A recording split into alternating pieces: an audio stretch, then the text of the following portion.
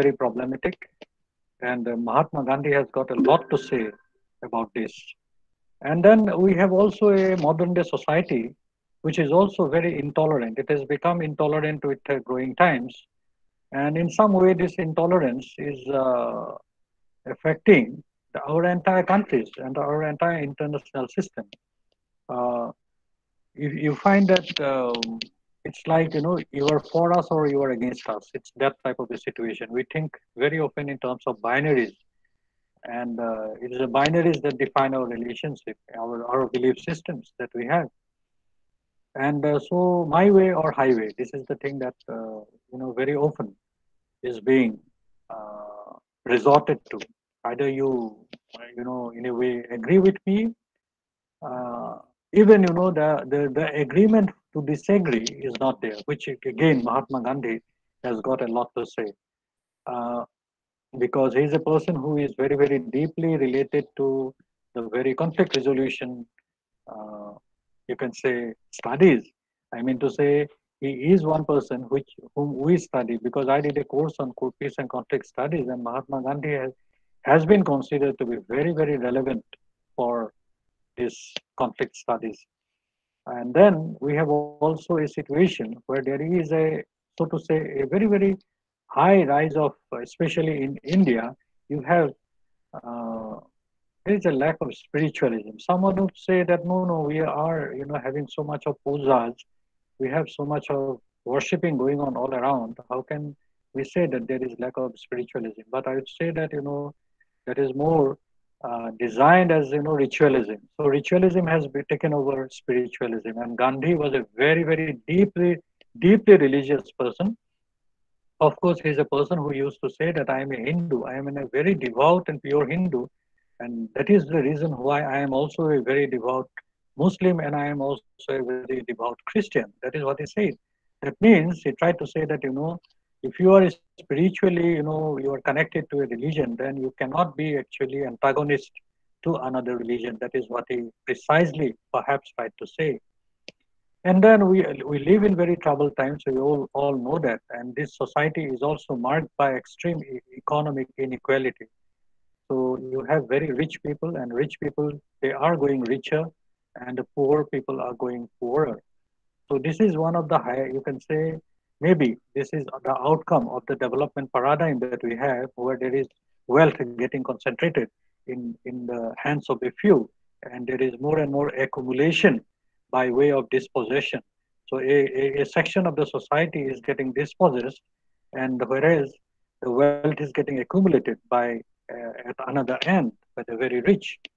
So there is this is something and in india we have also a very large issue huge issue of unemployment and there is uh, this unemployment uh, is you can say uh, can be very well gauged by even during the pandemic situation when we found a huge number of uh, migrant workers going home. And then uh, there are conflicts conflicts uh, there are caste conflicts there are communal conflicts conflicts both at individual and group level.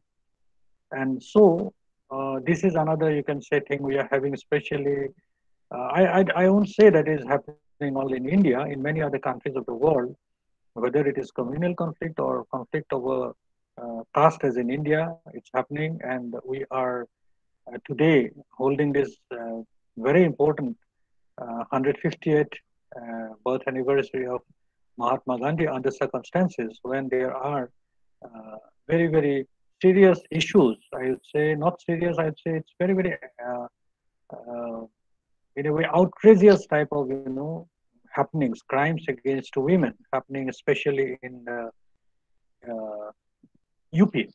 That you, I think you all know that you know the the paper is full of newspapers. It's full of the news which is happening there. And then there is also the unbridled consumerism, which is rampant and which is very uh, you can say, for all to see. And uh, last but not the least, or you can say there are many issues which we can go on talking, but I won't go on. I can't, uh, you know, keep you, uh, bore you with all these, you know, problems of modern society. But one one problem which actually besets us is the problem of environmental crisis. which is a very real threat to our, uh, you know, whether we are, uh, you know, identity, you know, from the point of view of identity, we may, we may not be the same, but I think this is one problem which besets us all as humans. So basically, what we find is that uh, the type of issues, the type of contradictions which uh, are there in the in the world today.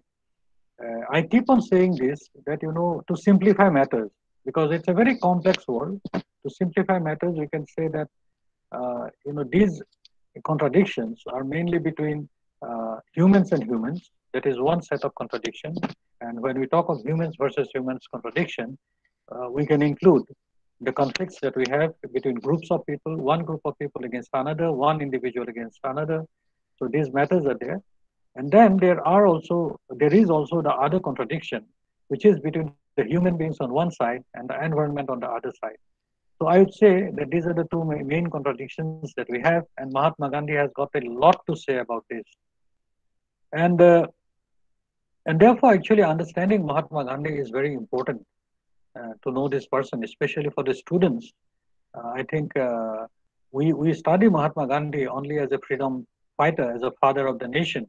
And uh, of course, uh, why he is called the father of the nation and what is the nation that he talked of often gets, you know, uh, overlooked. There, I, I, I asked this questions, question to my student also, that why is he called the father of the nation? What's the reason? And sometimes uh, students find it very difficult to answer because uh, uh, even Mahatma Gandhi because you see, it's, it's through his movement that he created this nation. The Indian national movement is the Indian freedom struggle. We have to understand that. It's a nation in the making. And a nation that he actually dreamt of, the nation that he wanted to be inclusive, because India was not a singular entity. India was divided into, you know, many states, many people, each with their own culture. It's a very, very uh, it's called a cultural dome. You can say it's a multitude of cultures, multitude of you know people at different stages of their civilization, and so this very very complex uh, country was brought together by Bapu, or as we lovingly call him, the father of the nation, as he tried to bring under one umbrella the different strands of movement in the country so for, I mean to say from the mainstream, from the center to the to the coast to northeast, he carried it everywhere. And he is a he's a politician also. He's a master strategist who freed India from the British yoke, and he, and he was a social reformer.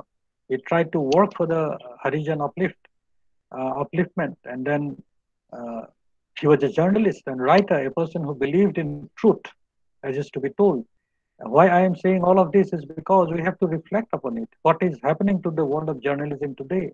Where is truth? Because we, we live in an era of post-truth. So that is why if you go on, you know, speaking on Gandhi, you will find that he is more and more uh, relevant to us. He was a social reformer, as I said, Harijan upliftment. Where is the, where are the Harijans today? Uh, why there is still you know, so much of so rampant, you know, caste conflict there. And he was a prophet in many ways because a lot of the things that he said, they proved prophetic and uh, they have been realized uh, in the in the days that went by. And he was an educationist. He told a lot about education. And the new new education policy 2020, the national education policy that has recently been enunciated by the government of India, uh, if you go through the if you go through what is there the very very high ideals that are being actually incorporated in the policy and if you go through mahatma gandhi's own writings on the education system you will find that actually what mahatma gandhi desired was the same as what the nep 2020 desires so he was prophetic and he was very very realistic and he had a lot to say about education maybe if i find time i will spell out a few of them. And then he was an environmentalist. Now, a person who actually was killed in 1948, uh, how can how can he be considered an, an environmentalist? Because the environmental movement that we talk to today, the environmentalist, the environmentalism that we actually speak of, actually came much much later. The environmental crisis was actually, in a way, uh, it was first. Uh, first, you can say the conscience of USA was United States of America was shaken by that book by Rachel Carson, The Silent Spring, and that is where we, end the wilderness movement there. So it is actually after Mahatma Gandhi's demise that you know uh, that lot of this after his assassination that the actual environmental movement that we talk of they emerge. But then if you go through his writings, you will realize that he was an environmentalist and what he said, uh, what he believed in, and what he wanted the people to do, they are as relevant today as as you can say in any any time. So um, you know Gandhi's relevance also lies in that in the fact that we can consider him to be also a measuring rod, whether it is in, in our individual day-to-day affairs, whether it is in the um, you know affairs as managed by the state. In every in every parlance, you can say Gandhi can be a, a measuring rod the, the country that he dreamt of, the country that he fought, the struggle for independence, is it the country that we have after 70 years? So these are the issues, but he is relevant for many, many ways.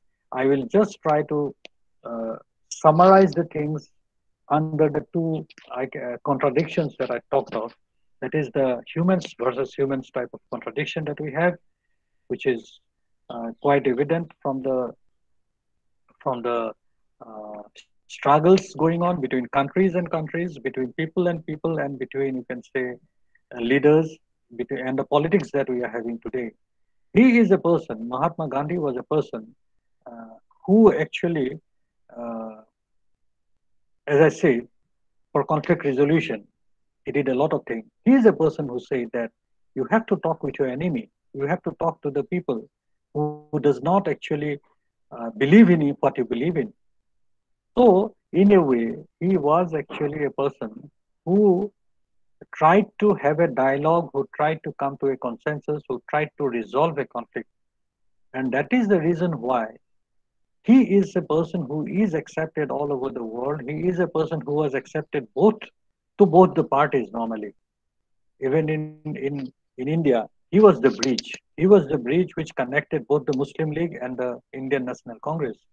So persons from both the you know factions, from both the parties used to talk to him, and he is a person who actually uh, kept on kept on uh, you can say a, a, dialogue mode. Even some of his writings reflect that there is a dialogue actually in which he is always interested, and he respect the other person's view always the respecting the you know and and that is where uh, you know the the type of inclusive India that he could see actually emanates from there because his idea of India was celebrating its diversity in its various forms, not only in terms of religion, where you have the two major religions, which is said that they are very essential that these two communities must live together in harmony.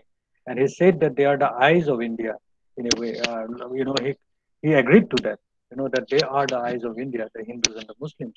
And then uh, this um, connecting people, bringing all the people together, actually, it is uh, for his, you can say, methodology of you know dialogue of of uh, talking to the other person, of uh, you can say accommodating. And that is the reason why the different struggles in India could be united under a umbrella and this indian national movement became such a movement such a mass movement. And so what i'm trying to say is that he is a person who tried to resolve many of the differences between people and people type of situation and how uh, they can be brought together. But you see today's world it is there is very less of dialogue. The opposition is not taken care of. Opposition is actually unlike Gandhi. Gandhi always respected the opposition. Gandhi always listened to the opposition. But in today's world, the opposition is sought to be uh, destroyed in a way, annihilated in a way, in a lot of ways. So uh, you find that uh, if you talk uh, in USA, in Russia, in Germany, in Turkey, even in our country, there is a sense of having a sort of dictatorial type of uh, governance, a dictatorial type of situation, where as if there is no, uh, there, the diversity is lost, and there is one color, one paint, which is all over, one personality, which actually sub, sub, sub, you can say subsumes all the other type of different uh, categories which are there. So this is something very important to, to understand. And his relevance, you know, truth without truth, without non-violence, you know, you cannot go forward actually. You can have a world of chaos. You can and and we are seeing what is happening today. And you have also something he always believed in that there is he talked of morality in politics. He talked of morality in politics without morality, politics will be actually will not be a true politics. And what we are having today is, you know, it is all for power. Power politics is there. There is no idealism. There is no, you know, values which are attached to uh, good politics. So morality in politics is also quite lost. So, uh, in different ways, you know, these contradictions that we see, uh, Gandhi has a lot to offer and, and his his you can say weapons of truth and non-violence they have actually served the world in a lot of ways. You know inspiration he has been an inspiration all throughout the world from uh, Lech Walesa in Poland to Martin Luther King in USA to you can say in South Africa the apartheid movement uh, anti-apartheid movement under Nelson Mandela all this has been inspired by Gandhi. And even in India, a lot of movements, especially the environmental movements, like the Narmada Bachao Andolan, or even in Assam, we have the Lower Subansiri, anti-Lower Subansiri Hydel Project movement. All these are actually inspired by Gandhi's, you know, philosophy and Gandhi's uh, mode of struggle of Satyagraha. The, you know, the Satya and Agraha. That means the, the, the very the love for truth, you can say, the deep respect and love for truth. The agroh is desire, the desire for truth. So this is very important. This is very important. And this will never go away, actually. This will remain. And all throughout the world, and even in India, though sometimes they don't get the, you know, the type of respect they deserve, but all this Gandhian mode of struggle uh, has remained the only alternative left to the people to vent their grievances, to demand something, or to, you can say, fight against injustice. This is something that will remain because this is one tool which the poor can resort to, the weak can resort to. Otherwise, it is not possible for, for the poor to take up arms all the time, as has happened earlier. Because they were only, only the only way, the only way of resolving a conflict earlier, prior to Mahatma Gandhi, was either either you actually accept the other person's view, you go down on, to him, or you take arms and you know you fight him and fight him for maybe elimination. So this very very important, you know, the mode of struggle will remain. It is relevant today, and I think it is going to be relevant in days to come. It will be relevant because the passive resistance that it talked of is something very very essential. And then uh, even his views on democracy. You know, these are very relevant. Today we talk of a world, uh, uh, we, we are having a democracy uh, which is confined more or less to only electoral democracy. But Gandhi's views on democracy was uh, quite wide. And one of the very basic thing that he said was that uh, that we cannot be intolerant in a democracy. But today it seems as if intolerance is the, you can say, the buzzword of democracy. The democracy is being actually, in a way, pervertedly used to, to uh, bulldoze dissent. And this intolerance actually, uh, you know, it, it, it, it destroys the faith in democracy. That is what is said. So this is very important for us all to understand because if we go keep on doing that, uh, we know where we are going. We are going to the not to the right in the right path, as Gandhi said. Then there are actually so, so many things that can be said about him. Uh, I am limiting uh, it to also the other uh, few other aspects, like Mahatma Gandhi. He stressed a lot upon. It's not that he was not individualistic. He's, he, uh, you know, emphasized a lot on uh, uplifting oneself. Actually, the struggle within oneself is very, very important for the students. Therefore, it is essential that in this world of consumerism, in this world of uh, you can say one-upmanship, in this world of extreme competition, I think Gandhi is something which can inspire us in a lot of ways. And one of the ways of inspiration is also to to look, you know, within oneself and develop oneself in a way spiritually, morally, which is, I think he, he laid a lot of emphasis on the moral development. So morality is very, very important in all aspects of life. And uh, and he said, my life is is my message. Actually, he lived a life where you can say it is very. He's a minimalist. He used the most minimum things that he actually required. He's a person whose carbon footprint, if we calculate today, will be much, much lesser than many of us. He's a person who uh, who was a saint in, in a lot of ways and uh, who sacrificed a lot, was ready to sacrifice at any moment for the people. So, what I'm trying to say, especially for the students, is that you have to uh, not only study Gandhi, but Gandhi's, you know, his spiritualism. I'm not talking in terms of religious, you know, uh, matter. He was a deeply religious person, no doubt. But you know, developing one's morality and character building was so essential for building up a, you know, uh, a desired uh, nation, a nation of uh, that he dreamt of. You know, character building is something that he emphasized upon, and it is character uh, that our students should build up. And if you have that character that Mahatma Gandhi taught, then you will not be a consumerist. You will not be a person who will not, uh, you know, respect other views.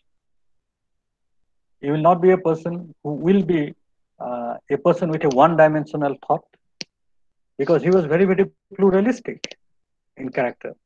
And we all know Mahatma Gandhi was, uh, when he became a uh, member of the Indian National Congress, after that he reorganized the organize the, the Indian National Congress. And there were, you know, local bodies, for example, the Pradesh Congress committees, they all came up after Mahatma Gandhi came. Now, one thing, if a person wanted to become a member of Indian National Congress at that point of time, they were to pay a small fee, very nominal fee, and then they will have to agree to two principles. One principle was ahimsa, that they will never resort to violence. And the second principle was believing in Hindu Muslim unity. That was, uh, you know, apparently it talked of two religion, but actually it talked of the pluralism of the diversity, respecting the diversity of the country.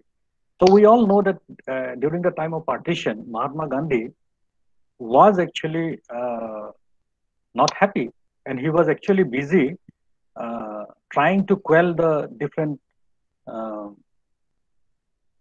communal riots which were happening. And he wanted a united India actually. He wanted a united India, but that did not happen. That did not happen. Uh, that is a that is a different you know trajectory that uh, the country took. But the point is, he is a person who wanted this inclusiveness, and his inclusiveness was reflected in our constitution and it is that constitution uh, that actually paved india's path to uh, development later on.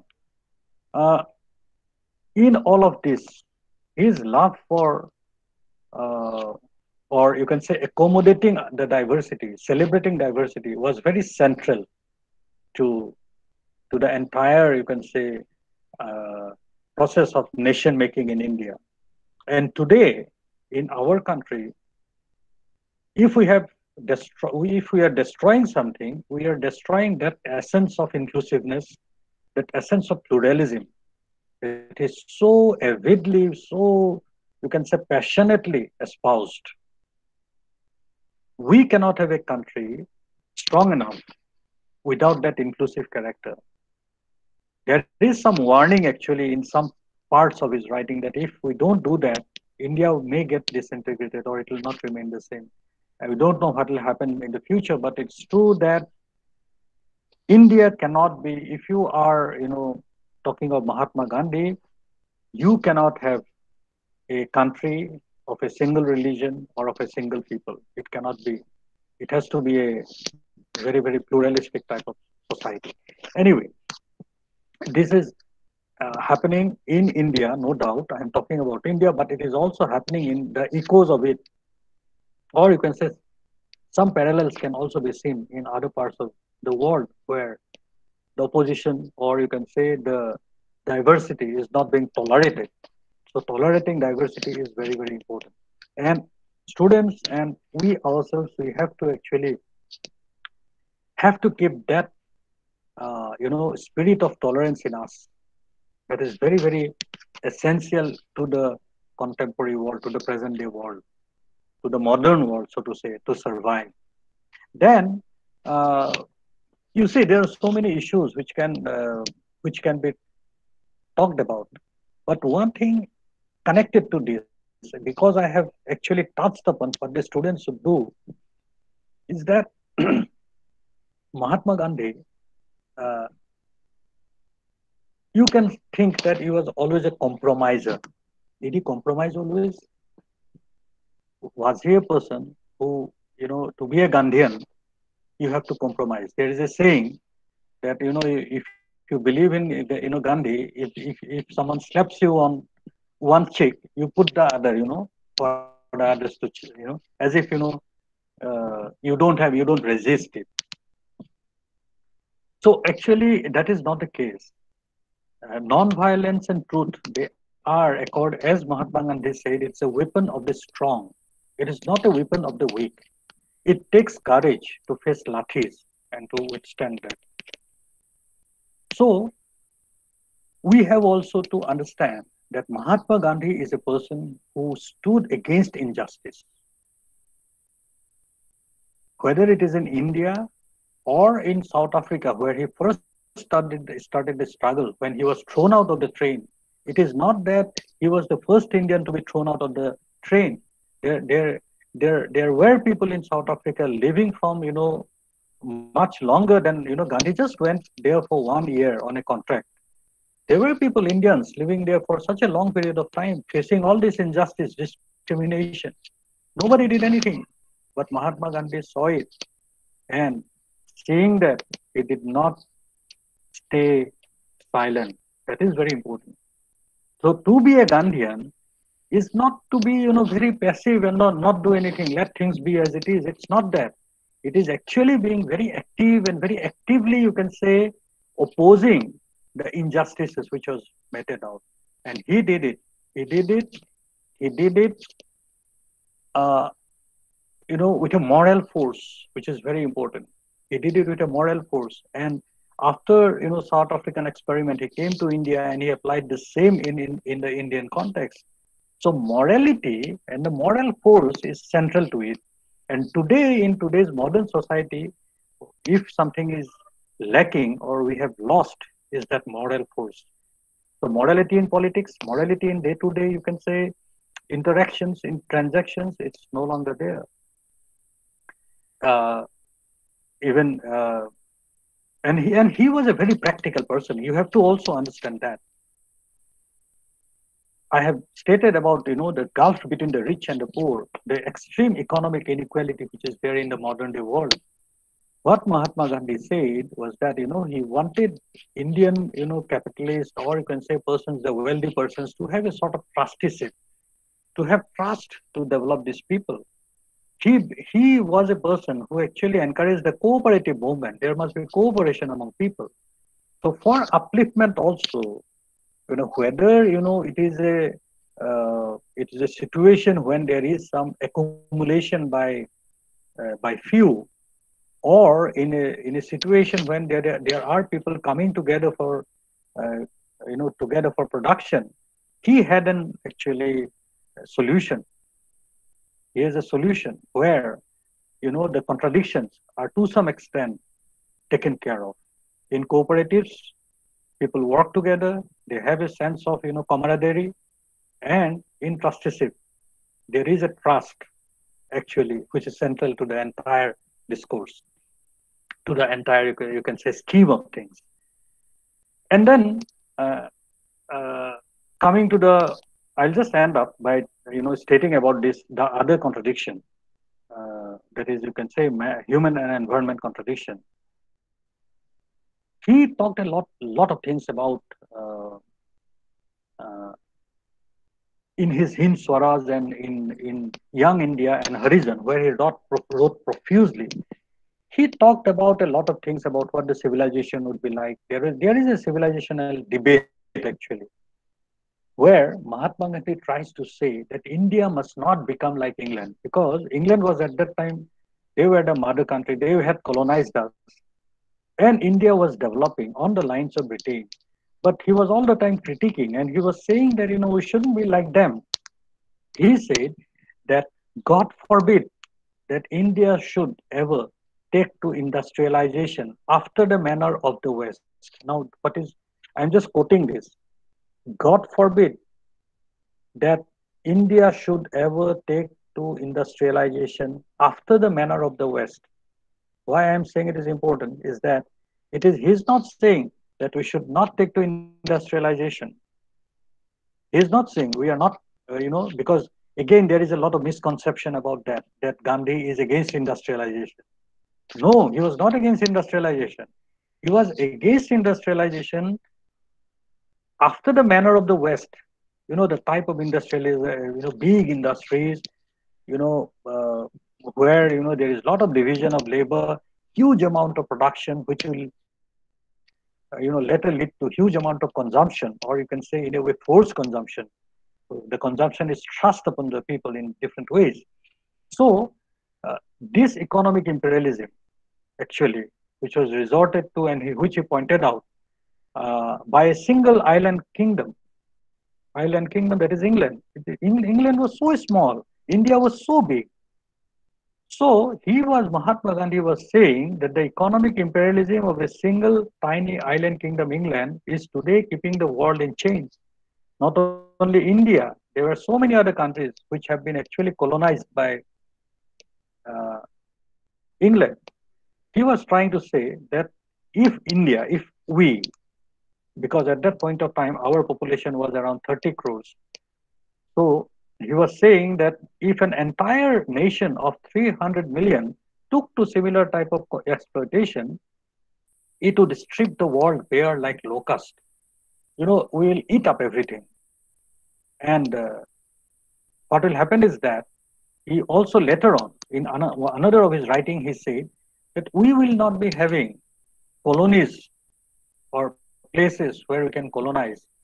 And if we are not able to colonize, what will we do? We will end up exploiting our own people, our own marginalized, uh, you know, and that this is happening. We are, you know, uh, in, in central India, the mines, in even in Assam, we are having a lot of problems about uh, mining in some forest areas like you know rainforest very rich eco, eco ecologically sensitive very biodiverse area they are being you know exploited. For what? For this type of development paradigm.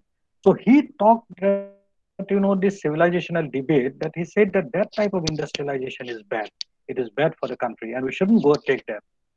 Then he also was you know trying to lead a life very frugal life trying to himself project as a sort of uh, model for others to follow. He believed in waste recycling. He, he adopted those measures in his ashrams. He is a person who used to write letters on the back of envelopes. He used to cut open the envelopes and on the back side of it, he used to write, write his notes. He was a person who actually recycled in a lot of ways. So these the ashrams which were set up, they were they were sought to be made up into very very sustainable type of enterprises.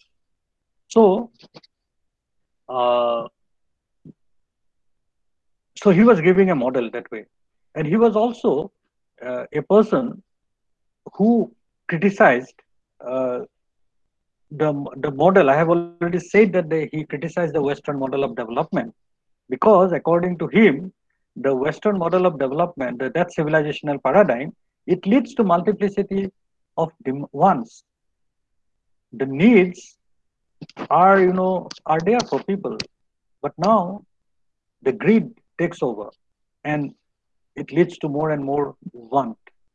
So whereas ancient civilizations, they were marked by an, restriction upon wants,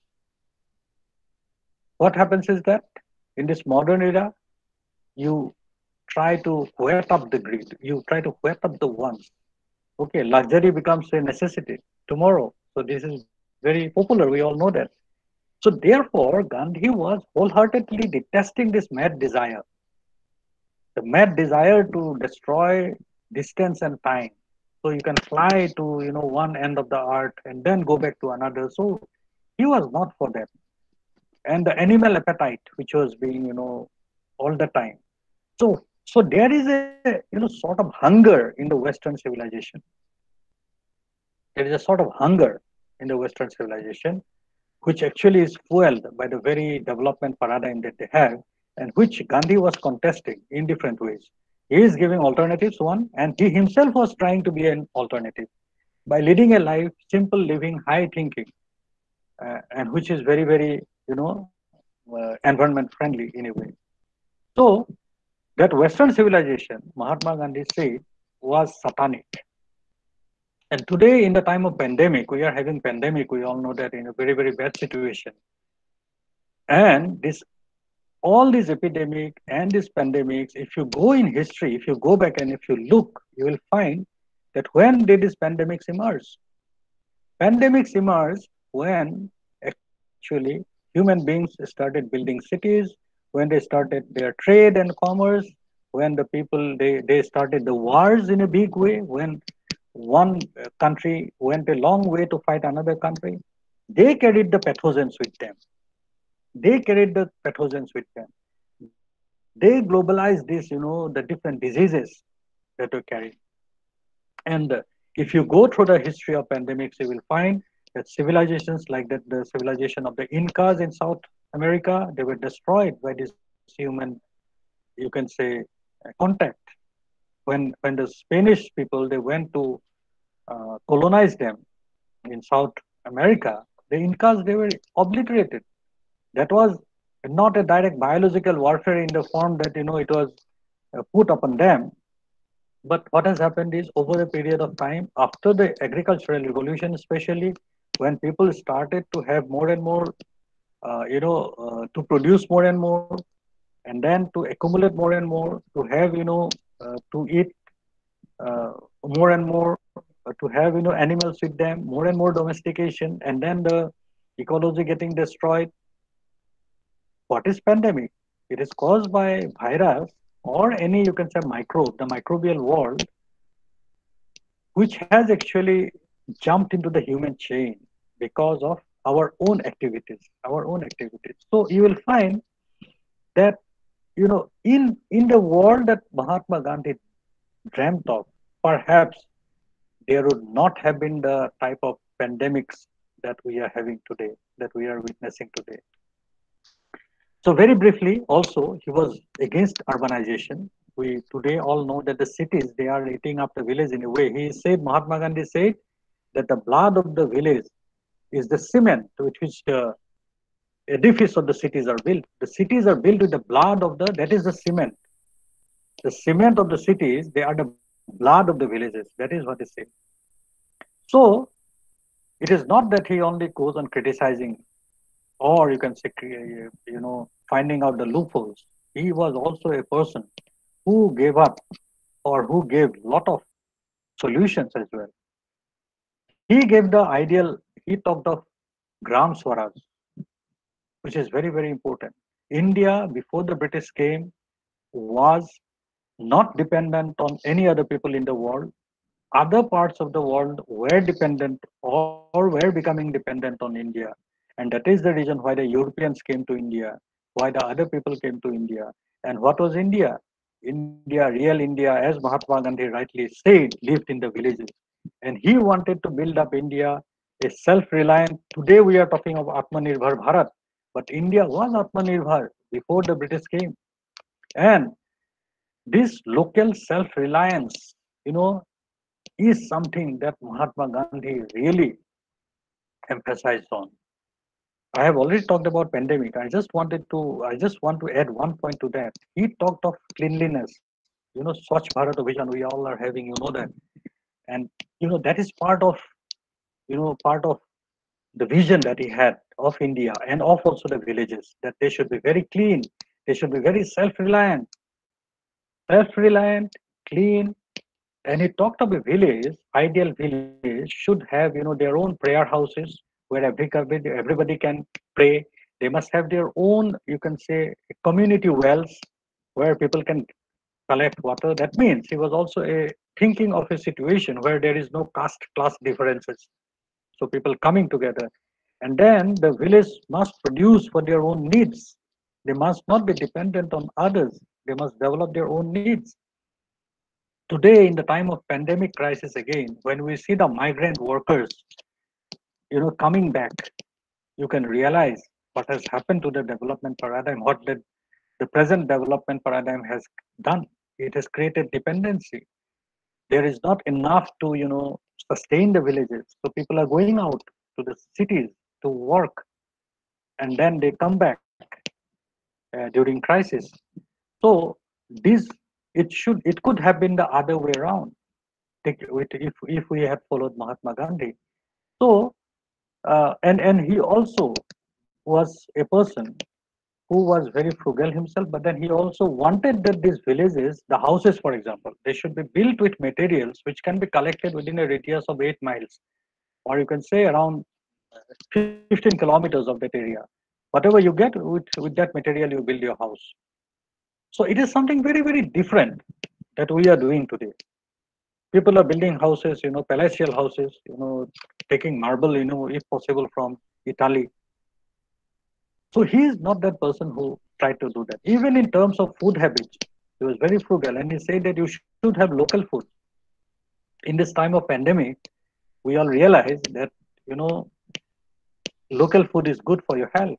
You know, what is produced locally, what is found locally, we should have that. So there are so many, you know, it is almost limitless. You know, things that is said, they are so very, uh, you can say, comprehensive, and uh, there's so many things that is said that you can we can take one at a time and find the relevance of it. And many things that is said, they are actually uh, they are you know, not only relevant, they are actually an alternative. And I would say they are that is the alternative in many cases. If we want to change the trajectory, if we change the, you know, the type of restlessness we are living with, the type of, you know, very, very unsustainable, in, imbalanced life that we are having, then I think Gandhi's way may be the right way. So anyway, uh,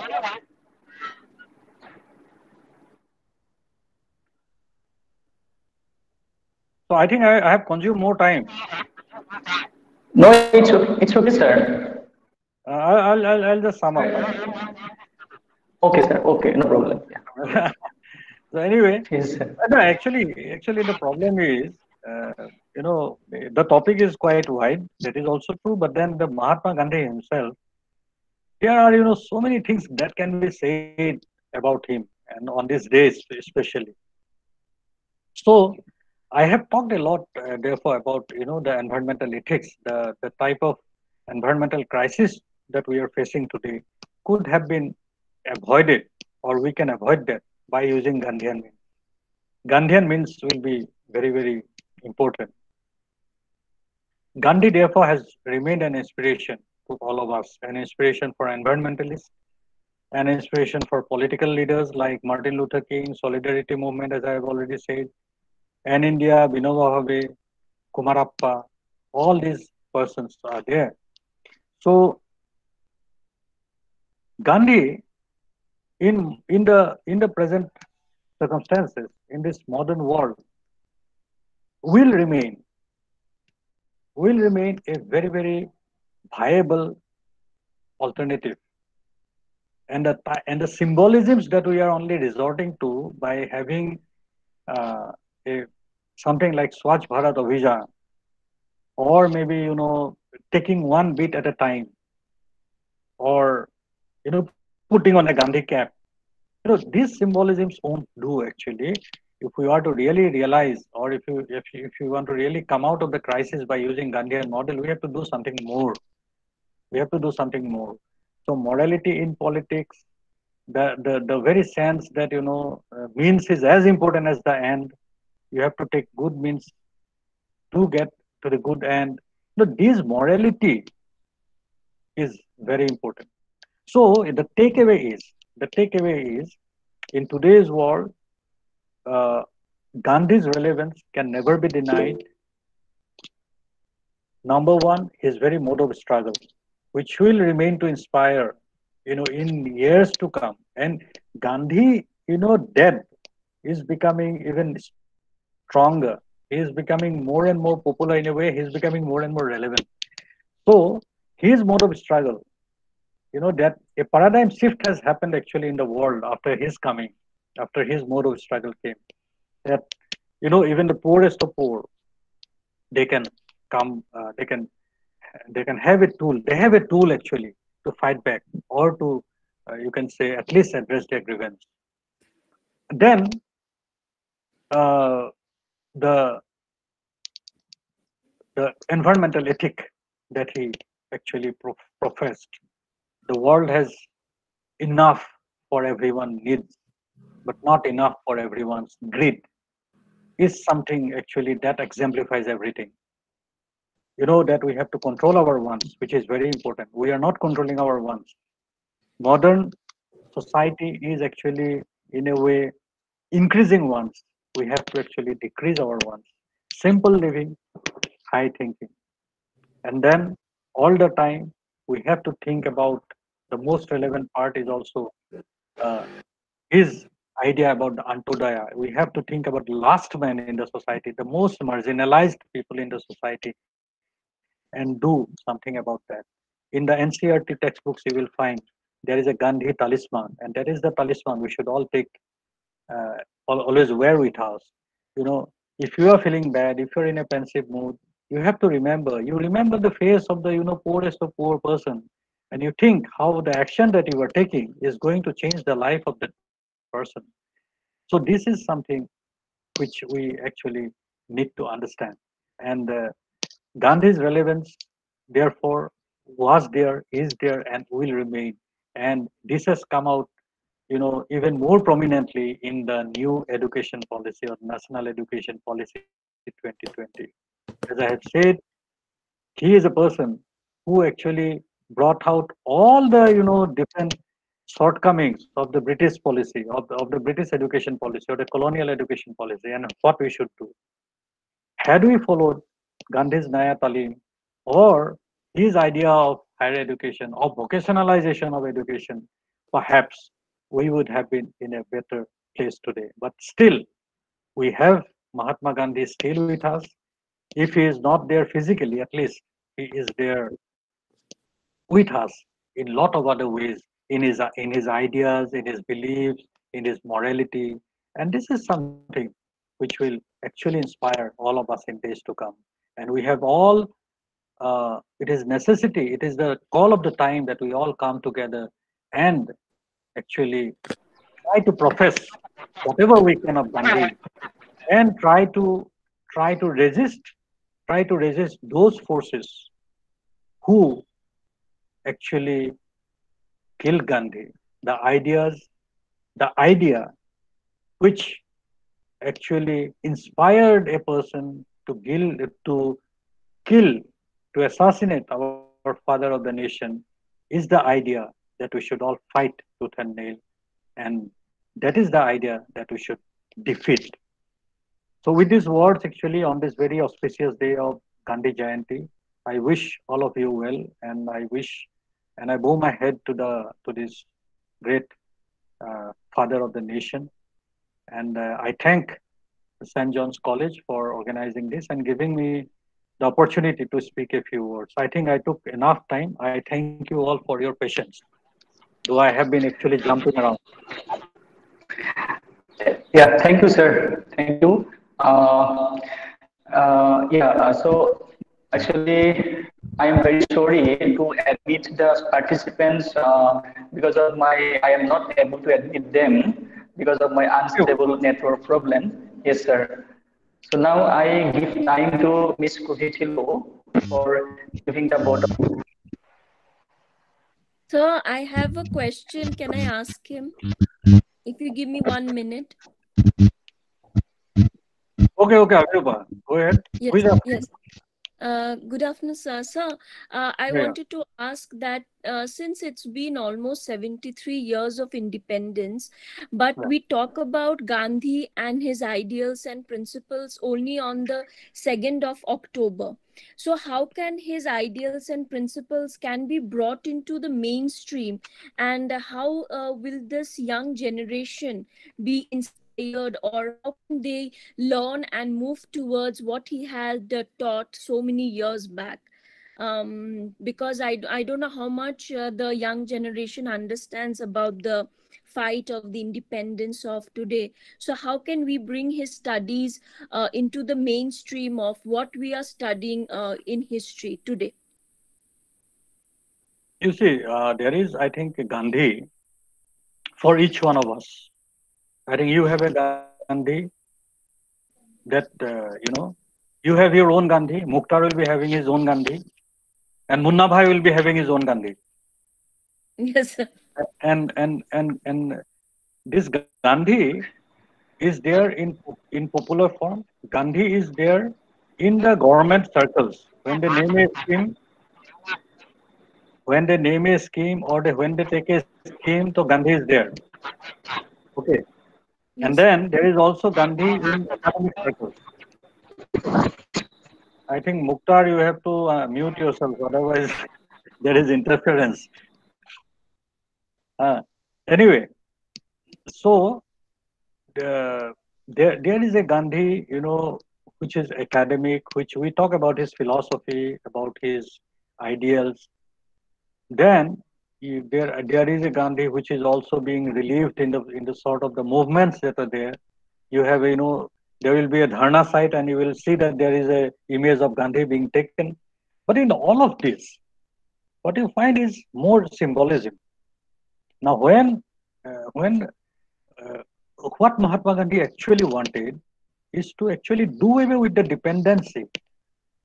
Now, with the type of schemes, Antyodaya schemes that we are having, whether it is in the, you know, you have the Poshan Ma or whatever for nutrition and all, what is happening is that you are, there is a client patron relationship already in our, in our, in our country. And it is, the poor are becoming more and more dependent on the state. You know, they live on the doles or you can say on the on the rice which is given for free or at a very cheap price so i think if mahatma gandhi would have been alive today he would not have actually supported that type of you know scheme which is in fact creating dependency on the minds of the people. Now what you have said is uh, you know to have a to have the lens to to see all of this uh, we need to uh, make Gandhi more, more, more, you can say, understandable to the young people. And I think there are quite a lot of young people who are, in fact, studying Gandhi. It is not that they are also because they they are our future. And I think without knowing Gandhi, without learning about Gandhi, the future is not there actually. Because to each of these uh, problems that we are facing today in the modern society, if we look at the writings of the other writers, you have the you can what are the alternatives alternatives that we are having? Are, you know, prior to you know Gandhi's coming also, we had the alternative of a communist country. Mainly the binary is between the communist and the capitalist. But Mahatma Gandhi actually gave, you know, a middle way, a middle path, so to say. He talked about cooperative, cooperative society of trusteeship. Uh, he tried to, you know, bring a sort of. Uh, he was in some in some of his things. You will find they are a bit socialistic in nature. Though he was, and there, therefore, he is a person who used to dine with with the Birlas as well as the, uh, as well as with the untouchables. So that is the type of inclusivity that he he brought in. And in India, with his you know thousands of years of you know stratification of the differences, if you want to really make our future generation really you can say modern in the real sense without having you know uh, with all these uh, so to say uh, hierarchical thinking, I think Gandhi again becomes relevant.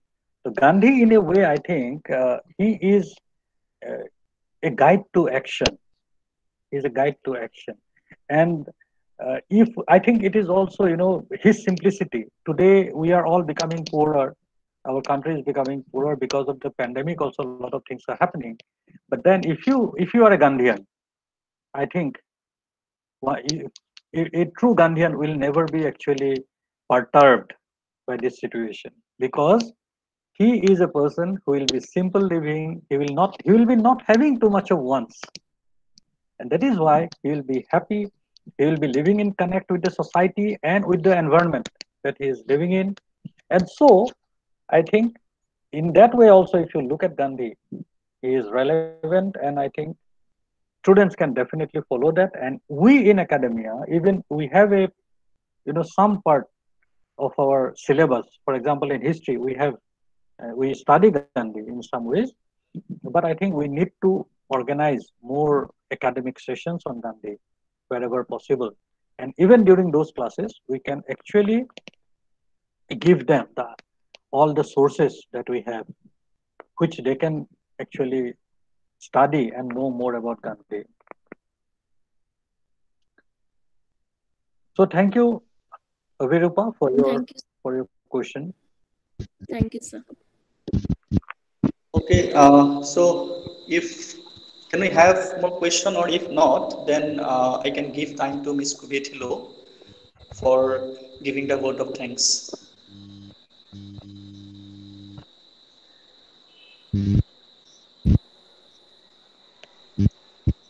Sir, can I ask one more question? Yes, yes, sure, sure. Yeah. Sir, like um, Gandhi's principle is mostly uh, there in the constitution as directive principles. It is not uh, uh, binding upon the state to, uh, you know, to follow his principles or ideals. So, how will our country in future, maybe present uh, move towards uh, that kind of Gandhian principles or ideals when his principles and ideals are not made mandatory but just made as uh, directive principles for the state to adopt. So, how can uh, this kind of change be brought in the governance? Because in spite of him advocating about untouchability growth of the society from below we see that every day some kind of issues are coming like the recent issue we have seen in hathras about a dalit girl. So how will the governance um, how can the normal uh, people or the masses bring a change to the governance that we are facing today no, uh, that is a very difficult question in the sense that perhaps it is only Mahatma Gandhi who could have answered that. Yes. Uh, so, because uh, he never, I don't know, there are, you know, sometimes, uh, even in the case of Munna Bhai, uh, yes.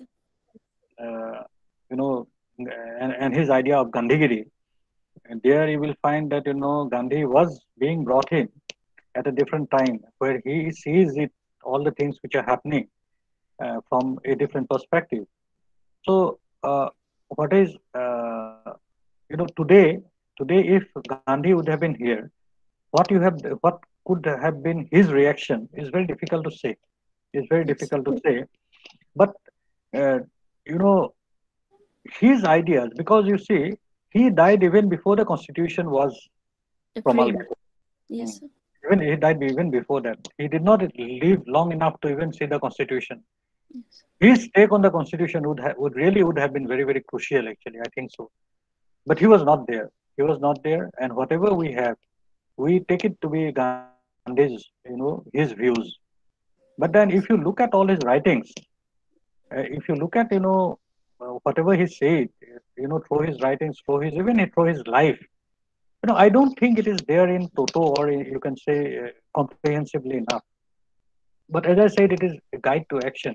What is said about communal harmony is something at least uh, you know on this uh, on this 150th 50th year of his birth, his Gandhi Jayanti, we should have been able to at least you know uh, at least you know establish that at least by this time.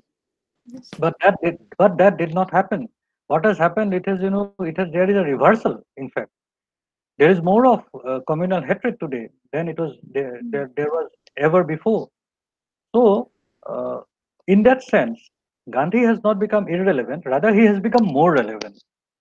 He has become more relevant because uh, in history, with the with with our help of you know very long temporal uh, uh, you know timeline that we study, uh, we know that illu- the illusion of permanence is broken. We history helps us to break that, and we know India as a country has survived uh, throughout the ages in different ways. There were many empires, and the empires did not succeed. Empires got fragmented again, and then there were again another empire coming up.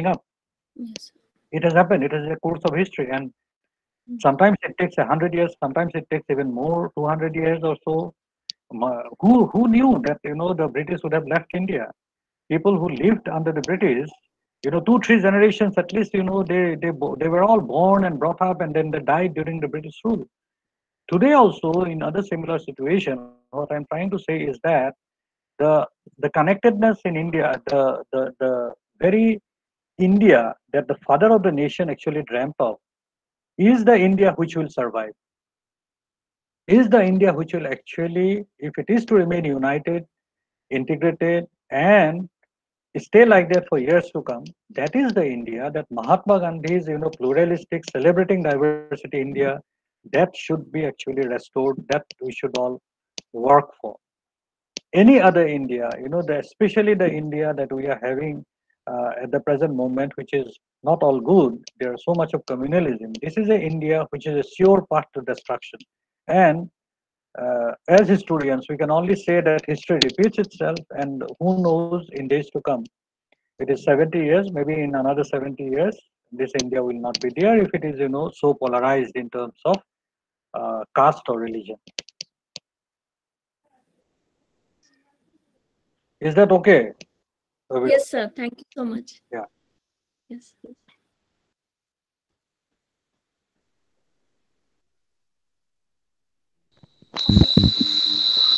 Okay, so uh, do you have any questions, participants?